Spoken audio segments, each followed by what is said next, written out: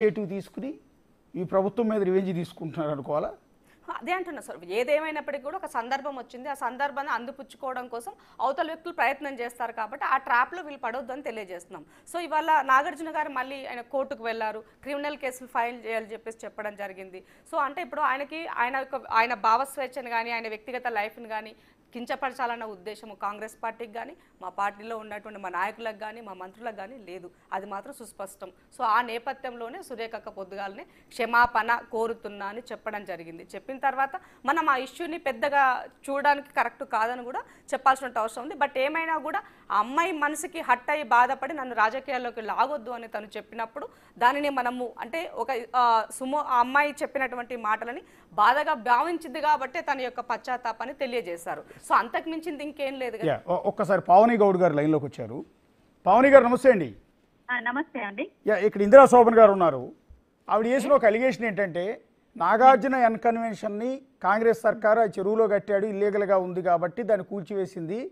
So అదే క్రమంలో కొండా సురేఖ కేటీఆర్ని విమర్శించే క్రమంలో నోరు జారి సమంత నాగ చైతన్య ప్రస్తావన తీసుకొచ్చింది కాబట్టి అక్కడ ఎన్ కన్వెన్షన్ కూల్చివేసిన రివెంజీలో భాగంగా నాగార్జున అడ్డం పెట్టి కేటీఆర్ ఇదంతా ఆడిస్తూ ఉన్నారు. సినిమా ఇండస్ట్రీ మొత్తాన్ని కొండా సురేఖ మీదకు ఉసిగొలిపి ఈ రకమైన కామెంట్స్ చేస్తున్నారు అనేది ఇప్పుడు కాంగ్రెస్ పార్టీ నుంచి చూస్తున్న విమర్శ. బీఆర్ఎస్ మహిళా నేతగా ఎలాంటి క్లారిటీ ఇస్తారు?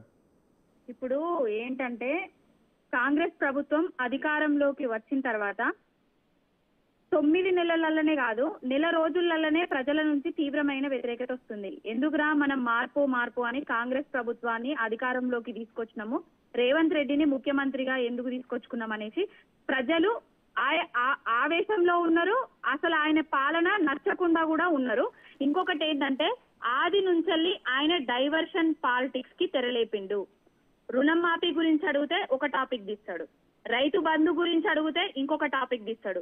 హైడ్రా తోటి హైదరాబాద్ ప్రజలను బెంబేలు ఎత్తి ఎత్తిస్తుంటే ప్రజలు నీచాతి నీచమైన తిట్లు తిడుతుంటే హైకోర్టు కూడా మొట్టికాయలు వేసి వేస్తుంటే ఇవన్నీ నాకు హైడ్రా బెడిసి కొడుతుందనే ఉద్దేశంతో ఏం చేసిండంటే ఇప్పుడు ఈ కొండా సురేఖ గారితోటి అలాంటి వ్యాఖ్యలు చేపించిండ్రు. ఏ ఆడబిడ్డైనా కూడా ఆడ వాళ్ళింటి ఆడబిడ్డగా భావించి ఇలాంటి వ్యాఖ్యలు చేయాలి. కొండా సురేఖ గారు ఇప్పుడు మీరు ముందు నుండి మాట్లాడింది నేను విన్నానండి. ఏంటంటే అక్కడెక్కడనో చంద్రబాబు నాయుడు వాళ్ళ భార్య మీద జరిగితే సినీ ప్రముఖులు స్పందించలేదు. ఇంకొక దగ్గర జరిగితే సినీ ప్రముఖులు స్పందించలేదు.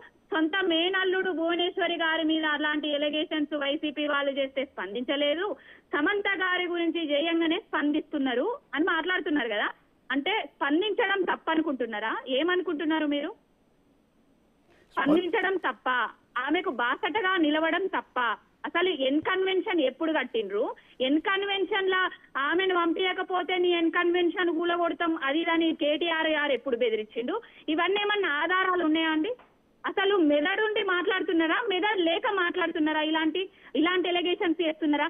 కేటీఆర్ గారి మీద ఇలాంటి ఎలిగేషన్స్ చేయడానికి వాళ్ళకి అసలు నోరెట్లు వస్తుందండి ఏమంటే ఏమన్నంటే ఇందాక ఇందిరా శోభన్ గారు అన్నారు ఆది నుంచెల్లట స్కీముల గురించి మాట్లాడుతున్నాడు మా రేవంత్ రెడ్డి అని అన్నాడంట. ఆరు గ్యారంటీలు ఇచ్చిండు. ఆ నాలుగు వందల ఇరవై హామీలు ఇచ్చిండు. తెలంగాణ ప్రజానికానికి అమ్మ అక్క చెల్లెమ్మలకు. రెండు వేల ఐదు వందలు అన్నాడు. బతుకమ్మ చీరలను మాయం చేసిండు. రైతు బందీయము రైతు భరోసా ఇస్తామని చెప్పిండు. రైతు బీమా అసలు ఊసు లేదు జాడ లేదు. ఆ రెండు లక్షల రుణం మాపి పావుల వంతు వేసి బారాణ వంతు వేసినా చారాణ వంతు వేసిన అని చెప్పుకోకుండా మొత్తం రూపాయి మందం హండ్రెడ్ పర్సెంట్ రైతు రుణం మాఫీ అయ్యిందనేసి చెప్పి ప్రజలను రైతులను ఆత్మహత్యలకు ఉసిగొలుపుతున్నాడు. అసలు ఏం చేస్తున్నాడు రేవంత్ రెడ్డి? తెలంగాణను పునర్నిర్మిస్తున్నాడా? లేకపోతే తెలంగాణలో విధ్వంసకరమైన వాతావరణాన్ని ఆ విద్వేషాలను నింపుతున్నాడా? హైడ్రా తోటి ఇప్పుడు మూసి మూసి ప్రాజెక్టు వల్ల ఈయనకు ఫస్ట్ ఏం చేసిండు? యాభై వేల కోట్లు అన్నాడు తర్వాత లక్ష కోట్లు అన్నాడు తర్వాత ఆ మూసి ప్రాజెక్టును లక్ష యాభై వేల కోట్లకు పొడిగించుకున్నాడు.